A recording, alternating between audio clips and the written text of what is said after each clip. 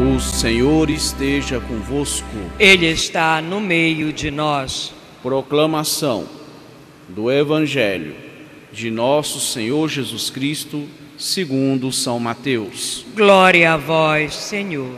Naquele tempo disse Jesus: Ai de vós, mestres da lei, fariseus hipócritas, vós fechais o reino dos céus aos homens. Vós, porém, não entrais, nem deixais entrar aqueles que o desejam.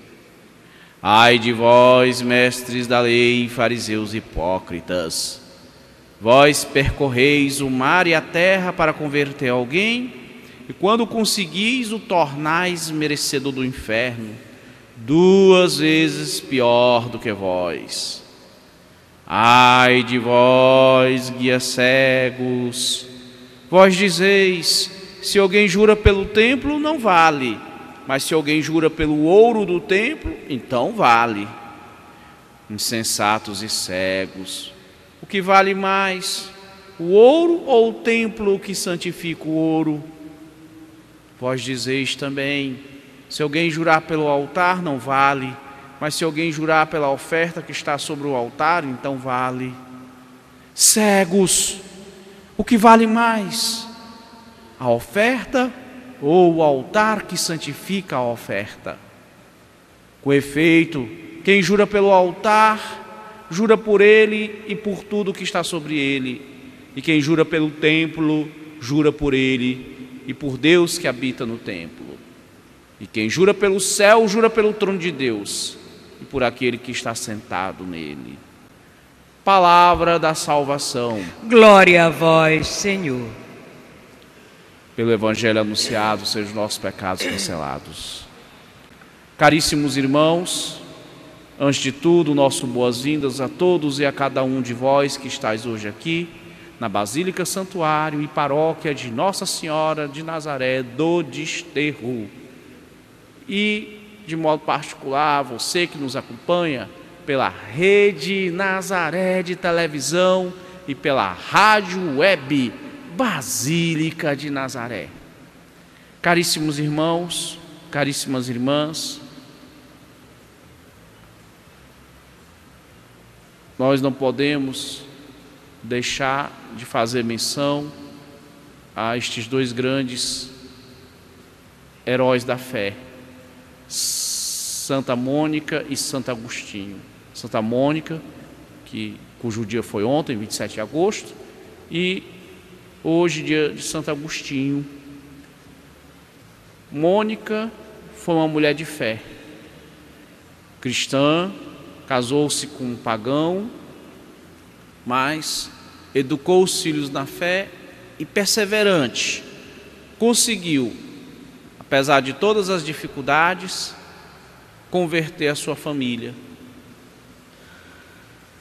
especialmente Agostinho, que teve uma juventude inquieta e desregrada, mas de quem Mônica nunca desistiu, sempre ali, rezando, orando, e ela dá provas dessa prudência e dessa persistência, porque ela já começou a interceder pelo filho enquanto ele estava no seu útero, desde desde o seu desde o momento em que ela se deu por grávida, ela começou a rezar por Agostinho, intercedendo. Mônica é modelo para as mães cristãs, porque lembrai-vos, ó mães, e lembrai-vos também, vós que sois pais. O que serve para a mãe serve para o pai. Mães mães de joelhos, filhos de pé na vida. Você que é mãe recentemente, você que é jovem e é mãe, você que está para ter o seu primeiro filho, você noiva que está para casar, lembre-se disso. Mãe de joelhos, filhos de pé na vida. E Mônica nunca desistiu desse filho. já quando eles moravam em Roma, ou melhor, em Milão, um dia ela conversando com Santo Ambrósio,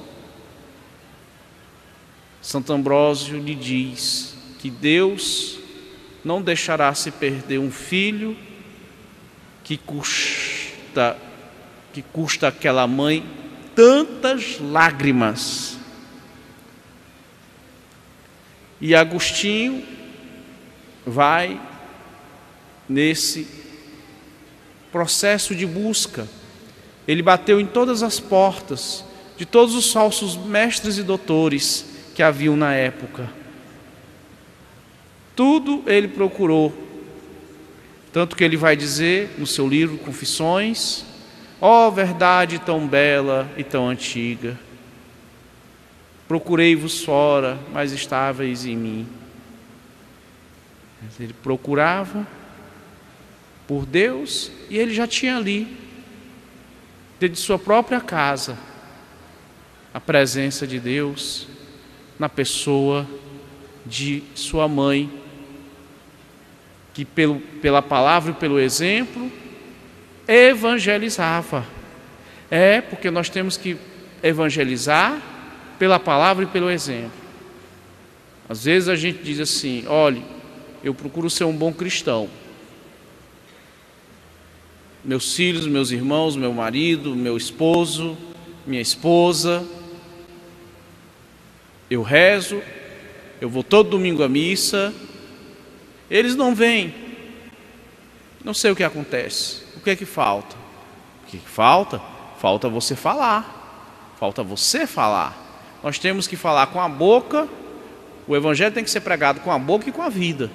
Não basta você pregar só com a palavra e nem só com a vida. Tem que ser os dois, juntos. Nós sabemos que Jesus é muito exigente nesse ponto.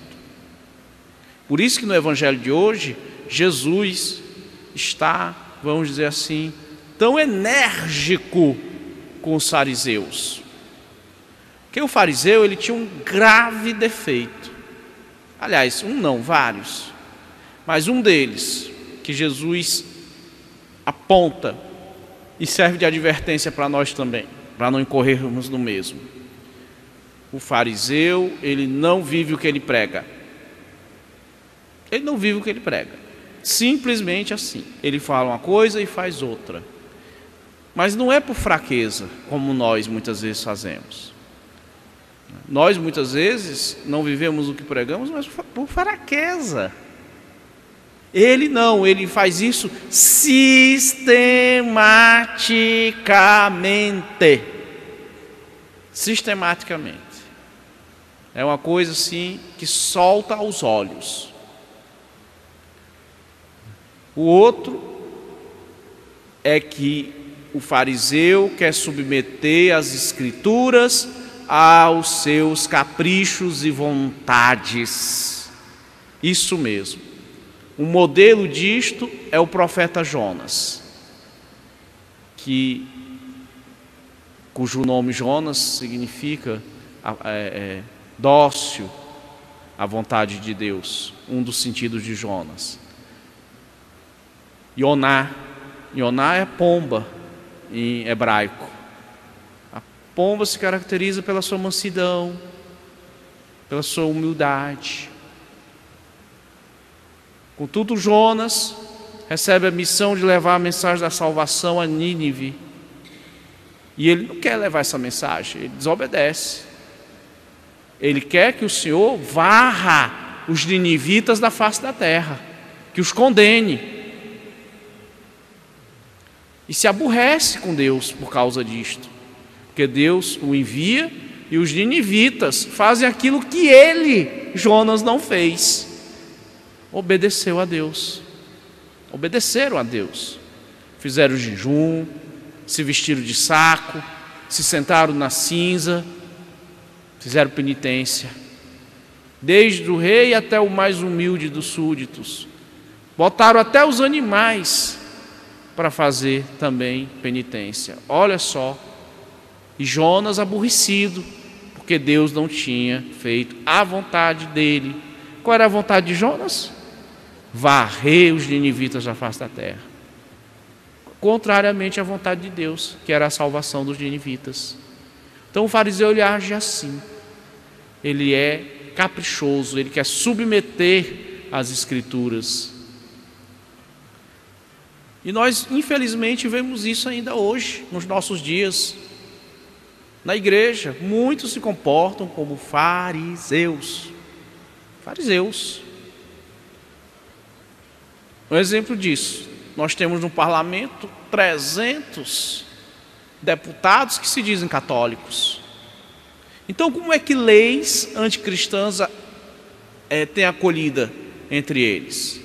E mais ainda, por que, que eles não vivem cristamente?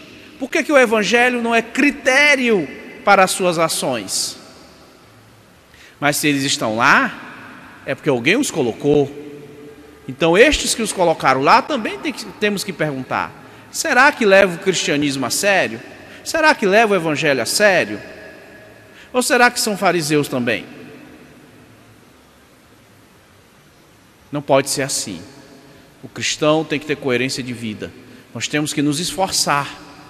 Não é fácil, porque primeiro o problema está em nós mesmos, as nossas más inclinações, as nossas paixões desordenadas, os sete vícios capitais, que muitas vezes nós deixamos que nos controlem, em vez de nós os dominarmos.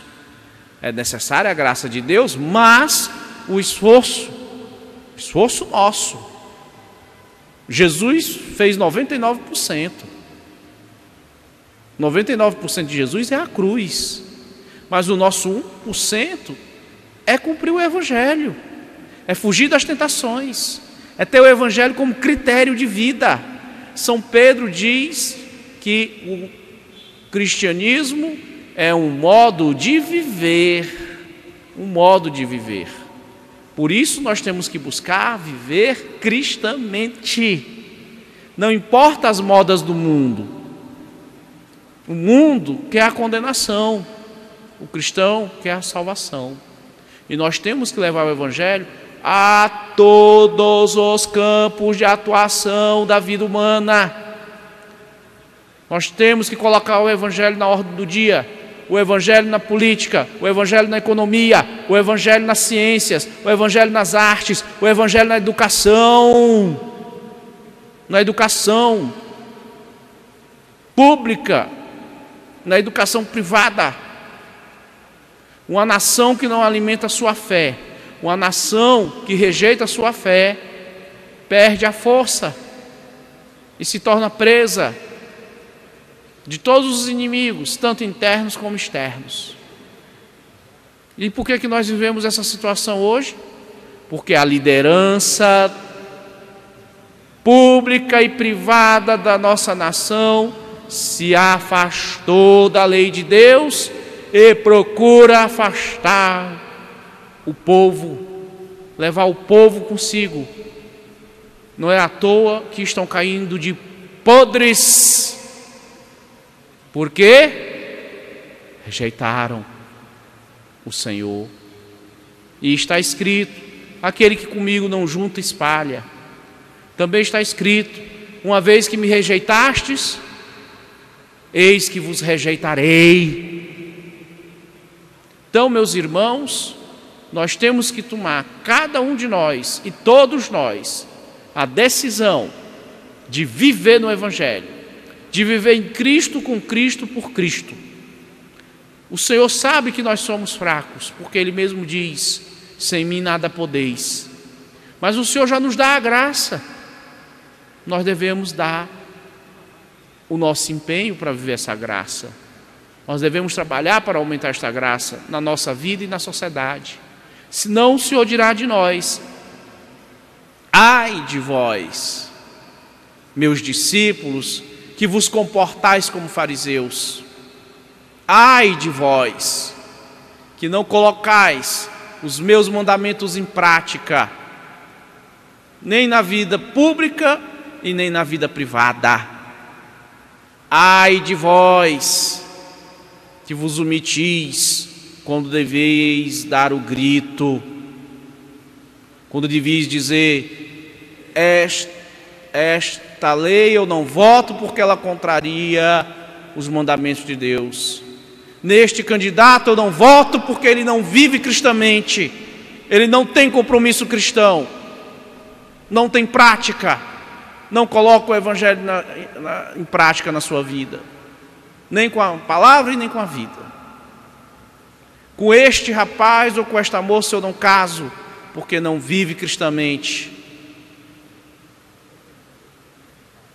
O Papa Francisco, gloriosamente reinante, quando assumiu seu pontificado, disse que o maior problema da igreja hoje são as pessoas que não vivem a fé. Ele disse: o que mais a igreja precisa hoje é de homens e mulheres que vivam a fé. Nós temos que colocar isso na nossa consciência. O cristão não pode morrer quando termina a missa. O cristão não pode ficar só dentro da igreja. O cristão tem que ir para a missão. Quando Maria Santíssima recebeu a missão de gerar o Filho de Deus, ela não ficou acomodada. Ela, com Jesus no útero, já se pôs a caminho. Foi levar Jesus para Aicarim, para Isabel e Zacarias. Foi servir a sua prima. Então nós temos que fazer como Maria de Nazaré, sermos discípulos atentos e missionários proativos e colocar o evangelho em prática, levar Jesus. Você tem que levar Jesus. Você está na política, você tem que levar Jesus para a política.